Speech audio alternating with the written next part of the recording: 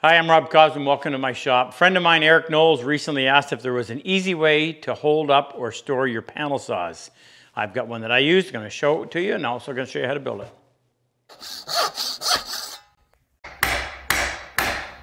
I'm Rob Cosman and welcome to my shop. We make it our job to help you take your woodworking to the next level. If you're new to our channel, be sure to subscribe Turn on that notification bell and don't forget to turn on the notification on your mobile device so you'll know every time we release a new video. Good? All right, back to the bench. Before power tools literally took over all sawing operations, a woodworker would have multiple handsaws, six, maybe as many as 12 for different operations. And they would store these in a case or a box called a sawtill. Well, most hybrid woodworkers today, that's woodworkers that are using both hand tools and power tools, need one or two. I think you need at least two, a crosscut and a rip. And you want to have some way to conveniently store them other than just hanging them on a nail. So I have a traveling tool cabinet that I'm going to show you. And I put in a couple of very nifty little ways of holding my two saws in place. It's easy, it's quick, and that's what I'm going to walk you through. This is my traveling tool cabinet that also doubles as my tool cabinet in our classroom when we teach. so you have a toggle that you just turn sideways like that, lift it out, pull it out.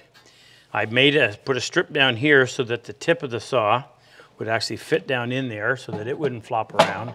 That goes in, turn the toggle and it holds it securely and that bottom isn't flopping about. So, pretty simple.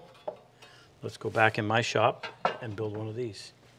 Now, even though the saw is made by the same manufacturer, don't expect this hole to be the same on both. I'm looking at it and I can tell that it isn't. So if you want it to fit well, then I would suggest that you make a specific holder for each saw and not try to do two of the same one.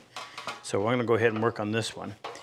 Now, first thing we want to make sure is that we get the thickness right because in order for that to lay in there and you'd be able to turn the toggle, it's going to have to be at least as thick as the handle, maybe just a little bit more. So it's a tough thing to try to measure with a measuring tape. So I'm going to use a set of calipers. Now that measures just under 7 eighths of an inch. So I'm just going to go uh, 7 eighths strong. And then which way do we want the grain to run? It's going to hang like this, so it really doesn't matter. There's no stress on it. Um, and it would be easier to get a piece of the grain running this way well, actually, that may not be the case if I measure from here down to there. It's almost going to have to come out of a square piece.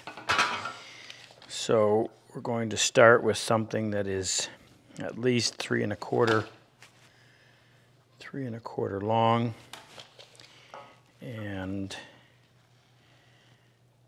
inch and three quarter will be enough.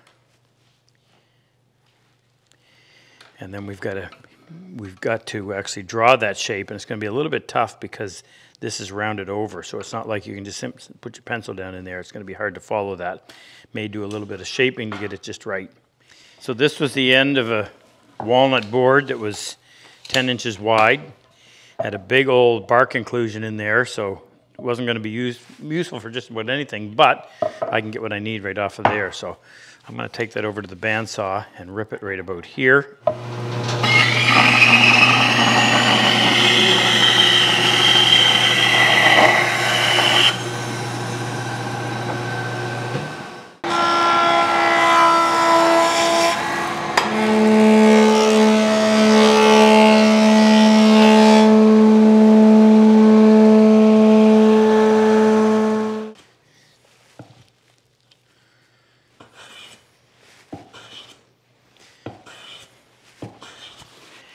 Okay, now the best way to copy that shape,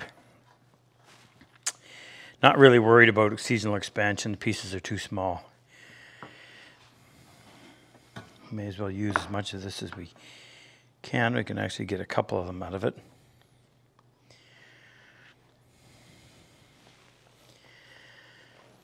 Now, I don't want that to move.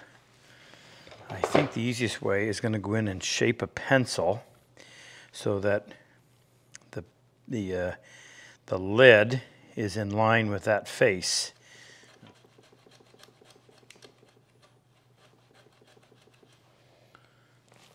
Okay. Now I'm going to get some yellow.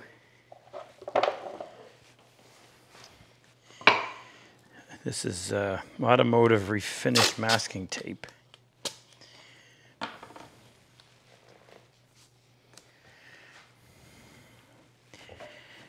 We want to try to keep that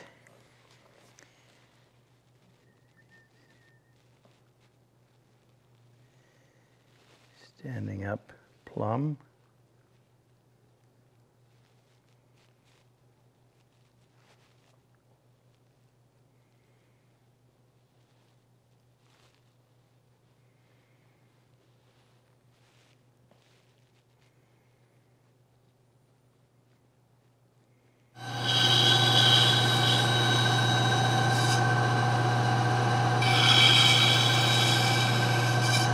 I think I can get into I can get into that tight of a radius anyway, but just in case you can't, cut, make a couple of relief cuts like that so when you get to it, that'll uh, free up your blade.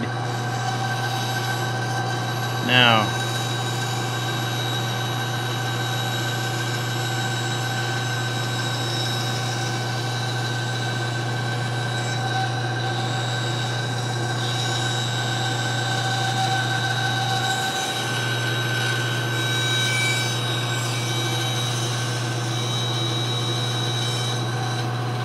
If your blade is really sharp,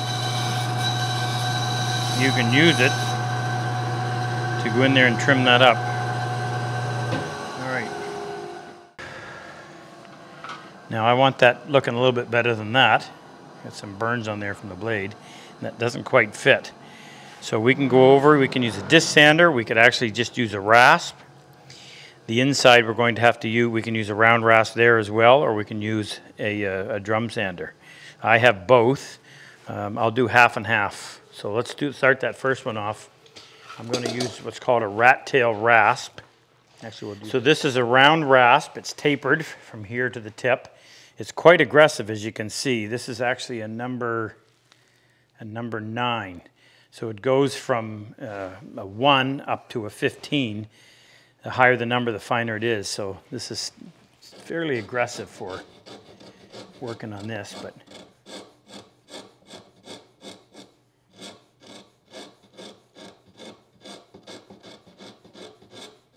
get in there with a uh, with a cabinet makers or model makers is actually what this is called. So a flat on one side, round on the other. I could have used that as the first one. Nice thing about this is you can flip it over to do the outside with the flat part.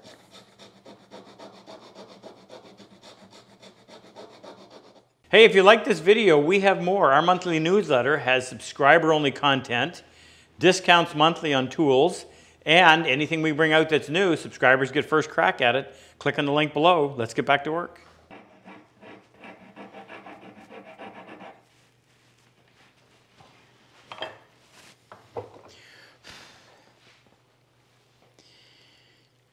Okay, we'll go over and do that side on an oscillating spindle sander, show you how easy that is.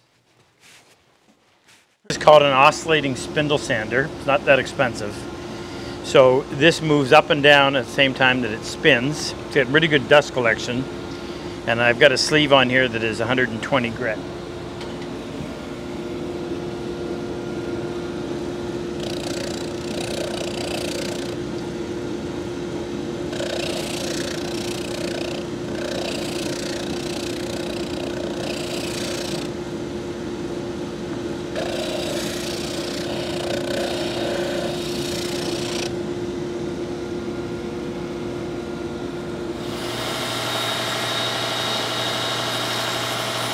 Key is always a light touch.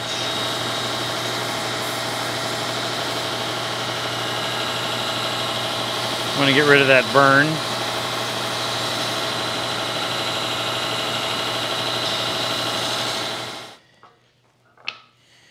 Okay, that fits. Now, we need to fit it in terms of, of uh, snug so that when it, when it goes in there and the toggle goes on, it doesn't move in and out. First thing I want to do is use my shooting board just to clean up one side.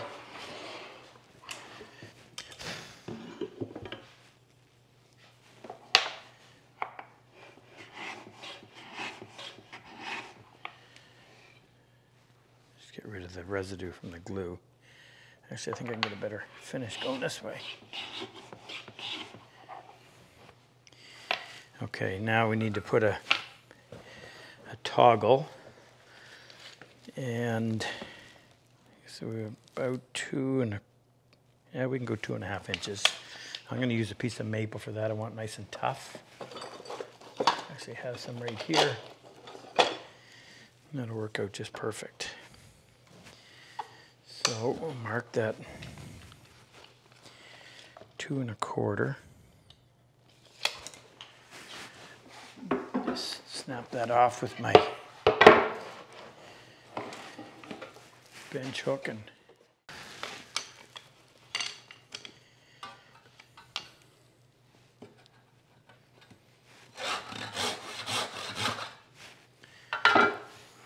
now something that size we can use the small shooting board on with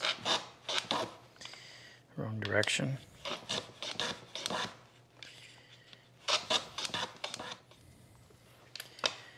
clean it up a little bit more get past that torn pit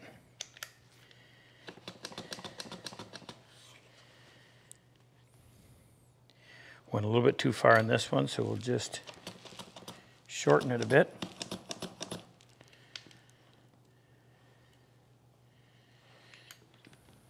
just a little touch like that.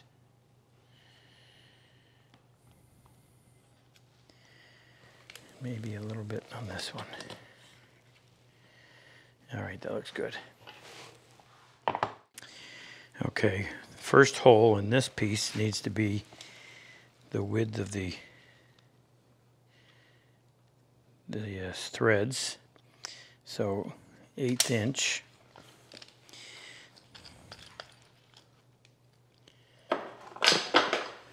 center hole to start with.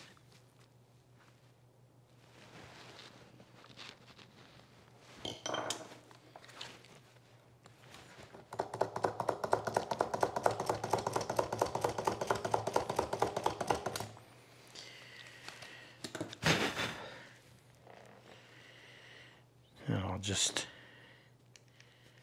thread that through and then let it spin a little bit at the end. I don't mind having a little bit of friction there. That's good.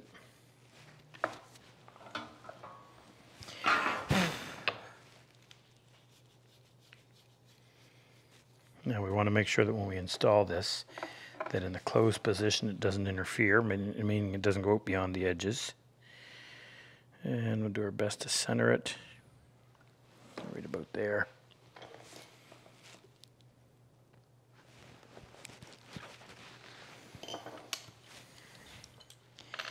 change this out and give us a pilot hole. It's a brass screw, so you always want to be careful. It's easy to twist them off. In fact, I'll go in with a steel screw first and cut the threads.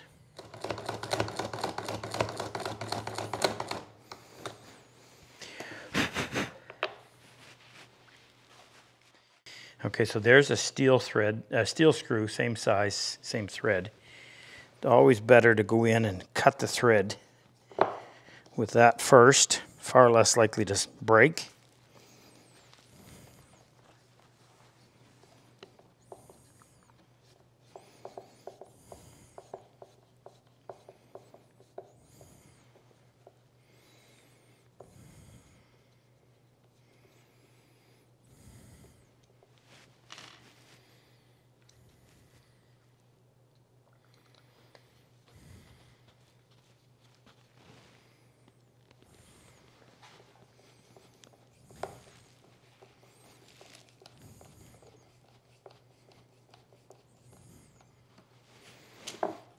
Okay.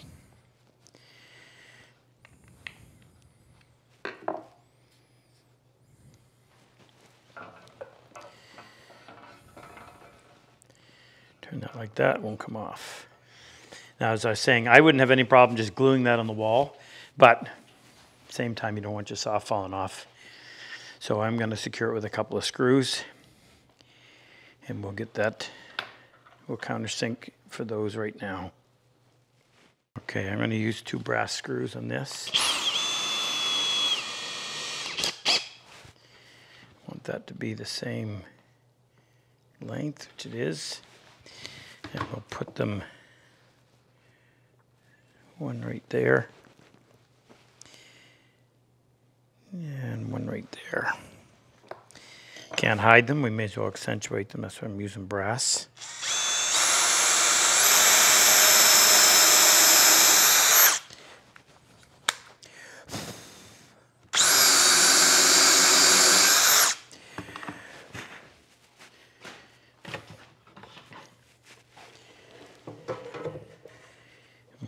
Gravity do its thing.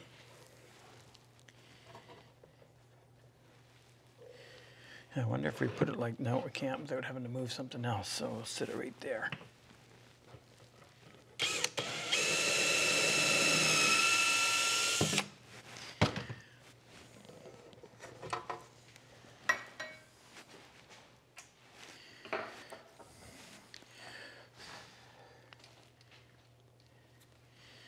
I don't have a matching steel screw. So I've got to use the brass one. It's a little bit bigger. Hopefully it'll survive, but that's too tight. I've got to go in and uh, drill through that piece of walnut or else this will never pull tight against the wall. Okay, I'm just going to drill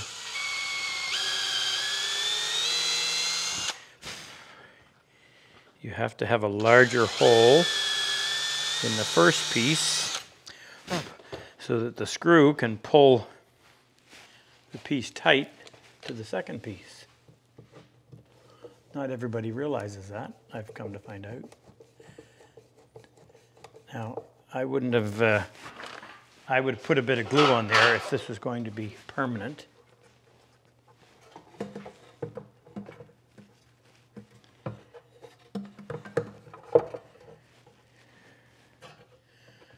That's where it'll sit.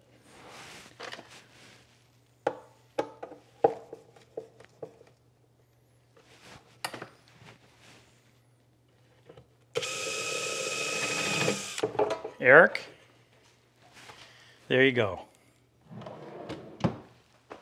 If you enjoy my method of work and like my style of teaching, click on any one of these videos to help take your woodworking to the next level. I've always said better tools make the job so much easier. If you click on the plane and chisel icon below, it'll take you to our site and introduce you to all the tools that we actually manufacture right here in our shop. It'll also give you information on our in-person and online workshops.